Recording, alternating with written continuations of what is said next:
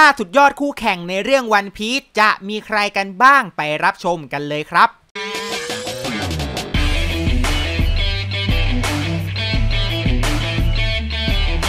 สวัสดีครับ กลับมาพบกับช่อง Over Review กันอีกครั้ง แล้วก็สวัสดีแฟนคลับวันพีททั้งหลายนะครับแน่นอนเลยครับว่าคลิปก่อนหน้านี้นะครับผมได้นำเสนอไปแล้วครับสำหรับ 5 คู่แค้นนะครับในเรื่องวันพีทวันนี้ก็เลยมาจัดการเป็น 5 คู่แข่งในเรื่องวันพีทกันบ้าง พวกเขาเหล่านี้นะครับอาจจะไม่ได้โกรธไม่ได้เกลียดกันเลย แต่ว่าเป็นคู่แข่งนะครับที่ทำให้เขานะครับสามารถผลักดันตัวเองไปให้ก้าวไกลได้กว่าเดิมได้ ถ้าอย่างนั้นนะครับวันนี้ผมก็เลยคิดว่าเราก็ควรมานำเสนอในจุดนี้บ้างดีกว่านะครับเพราะว่ามันก็ไม่ควรจะมีแต่เรื่องเกลียดกันใช่ไหมมันก็ควรจะมีเรื่องนะครับที่ผลักดันหรือทำให้อีกฝ่ายหนึ่งแข็งแกร่งด้วยเช่นกัน วันนี้ก็เลยมานำเสนอนะครับเรื่องราวเหล่านี้ทุกท่านลองคิดไว้ก่อนนะครับว่าจะมีใครกันบ้างนะครับเพราะผมนำมาแค่ 5 คู่เท่านั้น โอเค เพื่อไม่เสียเวลานะครับอย่าลืมกด subscribe และกดกระดิ่งให้ผมด้วยหากชอบคลิปนี้โอเคครับเพื่อไม่เสียเวลางั้นเราไปรับชมนะครับสำหรับ 5 คู่ที่ผมมานำเสนอดีกว่า เริ่มต้นที่คู่แรกกันก่อนเลย ราชาโจรสลัดโกลดีโรเจอร์ปะทะกับพลเรือโทการ์ปคำนิยามของ 2 รุ่นเดอะนี้เนี่ยเป็นคำนิยามที่เรียกได้ว่าจำกัดความที่มันยากเหลือเกิน จะเรียกว่าคู่ปรับก็ได้ คู่แข่งก็ได้ หรือจะเป็นคู่เพื่อนก็ได้นะครับเพราะดูเหมือนว่าทั้งสองคน จากที่เป็นคู่ปรับกันนะครับแล้วก็ผันเปลี่ยนกลายเป็นคู่แข่งและในท้ายที่สุดแล้วก็ดูเหมือนว่าทั้งสองคนจะกลับกลายเป็นเพื่อนกันซะมากกว่าสำหรับ 2 คนนี้ เพราะทั้งสองคนมีหน้าที่ของตนเองนะครับที่เป็นหน้าที่คนละขั้วกัน อย่างโจรสลัดนะครับแน่นอนแหละครับว่าเขานะครับก็มีหน้าที่ในการที่จะต้องล่าสมบัติ แล้วก็เป็นหนึ่งในการหาสมบัติล้ำค่าอย่างวันพีให้ได้ส่วนทางฝั่งทหารเรือก็มีกราฟนี่แหละที่เป็นผู้นะครับที่คอยจับเกล่าโจรสลัดเหล่านี้ แต่เอาจริง ๆ แล้วนะครับทั้งสองคนเนี่ยมันก็เหมือนกับเพื่อนกันมากกว่า อย่างเหตุการณ์ก็อดวันเล่นะครับทั้งสองคนก็ร่วมมือกันในการล้มนะครับกลุ่มโจรสลัดร็อกลงไปได้นะครับจึงทำให้ทั้งสองคนนี้นะครับถ้าหากขาดคนใดคนหนึ่งไป มันก็เหมือนกับการขาดสีสันนะครับหมดแรงกระตุ้น หมดแรงที่ทำให้ทั้งสองคนนะครับมีแรงกระตุ้นในตัวเองในพัฒนาไปมากกว่าเดิม การที่โรเจอร์นะครับสามารถไปถึงระดับสูงสุดของโจรสลัดได้การ์ปก็เป็นส่วนหนึ่งที่สำคัญเหมือนกัน เพราะโรเจอร์ก็ต้องถีบตัวเองไปให้มันสูงยิ่งขึ้นนะครับ เพื่อการการไล่ล่าของการ์ป และดูเหมือนว่าเฮียโรเจอร์เรานะครับเมื่อมีการ์ปมาตามไล่ล่านะครับมันจะเป็นสิ่งที่สนุกของพี่แกมากกว่านะครับชีวิตมันเหมือนจะมีสีสันเสียเหลือเกิน จากการที่ว่าพี่แกนะครับไปเจอทหารเรือกีกีนะครับพี่แกก็บอกเลยครับว่าไม่มันเลยไม่สนุกเลยนะฮะไม่เอาเซนโงคูมาหรือกราฟมา นี่มันอาจจะเป็นความหมายที่เราสื่อได้เลยเลยครับว่าหากโรเจอร์นะครับไม่มีกราฟกลายเป็นคู่แข่งของเขานะครับเขาก็คงไม่มีแรงผลักดันให้เขาเป็นราชาโจรสลัดได้และเป็นที่กล่าวขานนะครับของคนรุ่นหลังได้จนถึงทุกวันนี้ เพราะถึงแม้ว่าโรเจอร์ได้ตายไปแล้วนะครับกราฟนะครับก็นำลูกชายของเขานะครับอย่างเอสมาเลี้ยงดูต่อ มันก็น่าจะเป็นความหมายที่พวกเรานะครับสามารถตีความได้เลยเลยครับว่าทั้ง 2 คนนี้เป็นทั้งคู่แข่งกันนะครับแล้วก็เป็นเพื่อนกันแบบไกลๆกันไปซะแล้ว มาต่อที่คู่ที่ 2 กันต่อเลยลูฟี่กับโคบี้หากให้ย้อนกลับไปนะครับในช่วงต้นๆของวันพีชจะบอกว่าไอเด็กโคบี้นี่เนี่ยเป็นเด็กที่เก่งแน่นอนในอนาคตมีอนาคตกว้างบ้างไกลนะครับ หลายคนก็คงจะบอกว่าบ้าหรือเปล่าไอเด็กนี่เนี่ยมันดูไม่มีแววซะเหลือเกิน แต่ถ้าในปัจจุบันนี้นะครับดูเหมือนว่าโคบี้นะครับเขาจะก้าวไกลซะเหลือเกิน กับความฝันของเขาที่เขาจะเป็นนายพลแห่งกองทัพเรือให้ได้ เรียกได้ว่านะครับเป็นคำพูดที่ติดตราตึงใจนะครับแฟนๆวันพีชตั้งแต่สมัยที่เขาเนี่ยยังเป็นเด็กน้อยหอยสังอยู่เลย ซึ่งแน่นอนเลยครับว่าตัดมาที่ทางฝั่งของลูฟี่นะครับที่มีความฝันเพียงอย่างเดียวก็คือการได้กินเนื้อไม่ใช่ไม่ใช่ ความฝันของเขานะครับก็คือการที่ได้เป็นราชาโจรสลัดนะครับเป็นความฝันอันสูงสุดของเขาในการที่เขานะครับออกเดินเรือมานะครับทุกสิ่งทุกอย่างเหล่านี้เป็นสิ่งที่เขาจะต้องทำนะครับเพื่อให้แชงคูดผู้มีพระคุณของเขานะครับได้เห็นกับสิ่งที่เขาได้วาดฝันเอาไว้ ซึ่งทุกวันนี้นะครับเส้นทางของการเป็นทหารเรือของโคบีเรียกได้ว่าสดใสชัชวานเสือเกิน เมื่อเขานะครับได้รับการเลี้ยงดูนะครับหรือว่าได้รับการฝึกสอนนะครับจากกราฟนะครับที่เรียกได้ว่าเป็นวีรบุรุษกองทัพเรือ จึงทำให้โคบีนะครับเขามีฮาคิที่แข็งแกร่งมากๆเลย และยังมีฮาคิสังเกตนะครับที่เรียกได้ว่าเป็นฮาคิขั้นสูงของเขาด้วย จึงทำให้นะครับในปัจจุบันนี้โคบี้นะครับหลายคนก็เก็งๆไว้เลยแหละครับว่าเขาน่าจะเป็นการ์ปคนต่อไป ส่วนทางด้านลูฟี่นะครับที่เขาต้องการเป็นราชาโจรสลัดก็คงจะเหมือนโรเจอร์ จึงทำให้ทั้งสองคนนะครับโคบี้ที่เป็นตัวแทนของการ์ป และทางลูฟี่นะครับที่เป็นตัวแทนของโรเจอร์นะครับก็คงจะเหมือนรุ่นปู่ๆของเขานั่นแหละครับที่จะต้องไล่ล่ากันนะครับเรียกได้ว่าก็น่าจะเป็นคู่แข่งที่สำคัญของลูฟี่แน่นอนในอนาคต กับการที่เขาจะก้าวขึ้นไปเป็นราชาโจรสลัดในโลกวันพีทให้ได้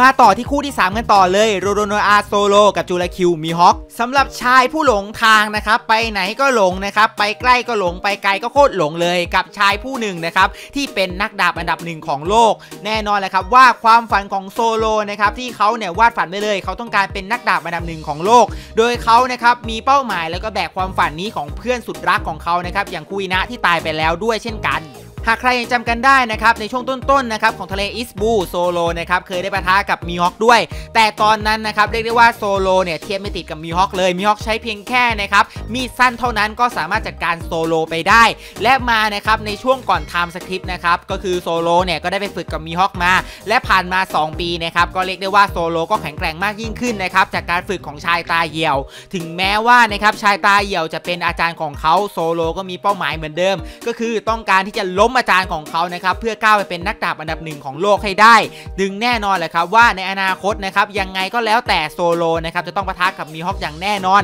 และก็คงจะเป็นคู่แข่งนะครับที่โซโลต้องการอยากจะปะมือมากๆ หากเขานะครับล้มชายที่เป็นนักดาบอันดับหนึ่งของโลกได้คนทั่วโลกนะครับก็จะยกให้เขาเป็นนักดาบอันดับหนึ่งแทนที่ของมีฮอคอย่างแน่นอน มาต่อที่คู่ที่ 4 เหล่า 4จักรพรรดินี่เรียกได้ว่ามากัน 4 คนกันเลยก็ว่าได้นะครับพวกเขาเหล่านี้เมื่อเจอหน้ากันเนี่ยก็มักจะปะมือหรือว่าต่อสู้กันอย่างแน่นอน โดยบางทีการต่อสู้ของพวกเขานะครับไม่ได้เป็นเพราะความเกลียดความแค้นนะครับหรือความไม่ชอบหน้ากันเลย แต่เป็นเพราะว่านะครับสี่จักรพรรดิมันมี 4 คนนะครับการต่อสู้คือการแข่งขันล้วนๆเลยแน่นอนเหรอว่านะครับในโลกวันพีซสี่จักรพรรดิเป็นอะไรที่มันยิ่งใหญ่มากๆเลย พวกเขานะครับก็ต่างต้องการเป็น1นะครับลำดับที่ 1 อยู่แล้วไม่มีใครหรอกครับ อยากจะมีหอข้างแค่นะครับหรือจะต้องมีบุคคลนะครับที่จะต้องมาแบ่งอาณาจักรของพวกเขาไป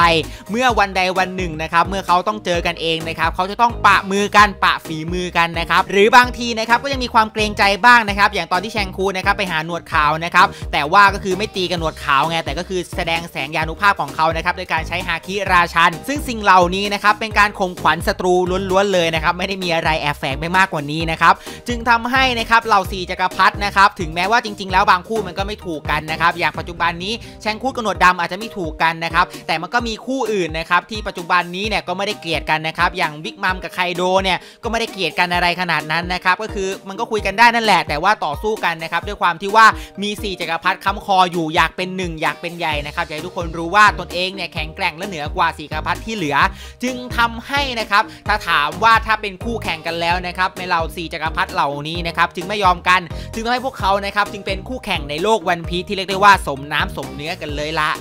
มาต่อที่คู่ที่ 5 คู่สุดท้ายโกลดีโรเจอร์กับหนวดขาว ถ้าหากพูดถึงยุครุ่งเรืองของโจรสลัดแล้วแล้วก็นะครับก็คงจะหนีไม่พ้นนะครับยุคที่หนวดขาวนะครับแล้วก็โรเจอร์ทั้งสองคนนะครับได้แสดงความยิ่งใหญ่ต่อกัน แน่นอนแหละครับว่าหลายคนก็คงจะพูดแหละครับว่าโรเจอร์ยิ่งใหญ่กว่าหนวดขาวอยู่แล้ว เพราะว่าโรเจอร์นะครับเขาเป็นถึงบุคคลนะครับที่เป็นราชาโจรสลัด แต่ถ้านับฝีมือจริง ๆแล้วนะครับโรเจอร์กับหนวดขาวทั้งสองคนเนี่ยฝีมือเนี่ยแทบไม่ต่างกันเลย ยิ่งการย้อนอดีตนะครับในภาคของวานโนก็แสดงให้ทุกคนได้เห็นแล้วแหละครับว่าทั้งสองคนมีฮาคิที่แข็งแกร่งมากๆเลย และก็สูสีกันด้วย แต่สาเหตุที่หนวดขาวนะครับเขาเนี่ยไม่ได้เป็นราชาโจรสลัดนะครับเพราะว่าเขาไม่ได้ใส่ใจในตำแหน่งตรงนั้น เขาไม่ได้สนใจในสมบัติล้ำค่าอย่างวันพีชเลยแม้แต่น้อยนิด จริง ๆ แล้วคู่นี้นะครับนับได้ว่าเป็นทั้งคู่เพื่อนและก็คู่แข่งกันเลยก็ว่าได้โอเคแหละหนวดขาวนะครับเขาอาจจะไม่ได้แข่งนะครับในการหาวันพีชแต่ถามว่าเมื่อปะทะกันเมื่อเจอกันแล้วนะครับทั้งสองคนเนี่ยไม่ยอมน้อยหน้ากันอย่างแน่นอน ก็ต้องมีการต่อสู้นะครับมีการพัฒนาตนเองนะครับให้เหนือกว่ากลุ่มโจรสลัดของอีกฝั่งหนึ่ง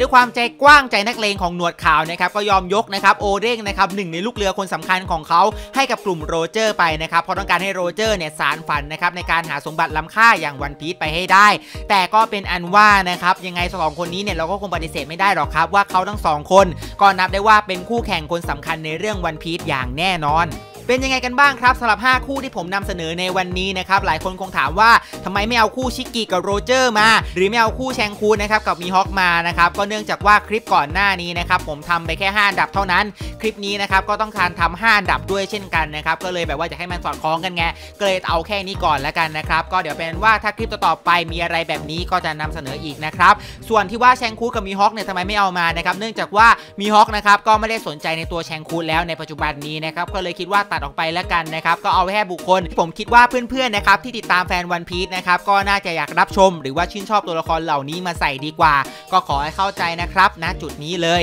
และสำหรับใครที่ชอบคลิปนี้ฝากกด subscribe และกดกระดิ่ง เพื่อแจ้งเตือนคลิปใหม่ๆของคุณนะครับเวลากดกระดิ่งเนี่ยให้กดแจ้งเตือนทั้งหมดด้วยนะครับคุณจะได้ไม่พลาดความสนุกความมันเหล่านี้ ผมฝากไว้เลยแหละครับ อันนี้เป็นสิ่งที่มันสำคัญมากเลย อย่าลืมนะครับกด subscribe ด้วยสำหรับวันนี้ไปแล้ว ขอขอบคุณครับ